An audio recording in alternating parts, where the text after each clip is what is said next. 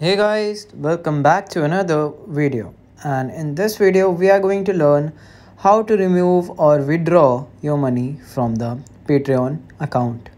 So what you need to do is open the Patreon web page either on your phone or on your laptop.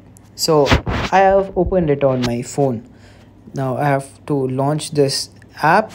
Now this is the app i have logged in it and i'm ready to go.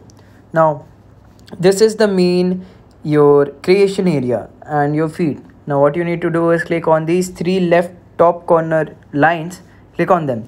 Now what you will see you will see several options like feed find creators messages settings and below your name and patron. Now what you need to do is click on settings uh, after clicking on settings let it load.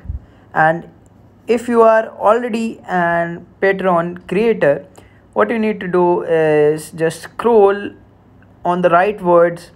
And here you can see your account. You can update or change your delivery address or addresses.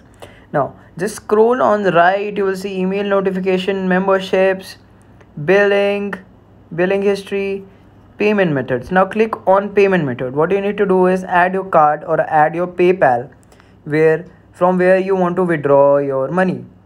Now if you click on the add card it will ask you to add card numbers and cvv and accept and submit it. After that the card or the paypal account will be added to your phone.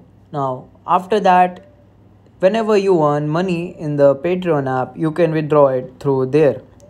Thank you for watching I will see you in the next one. Till then, goodbye.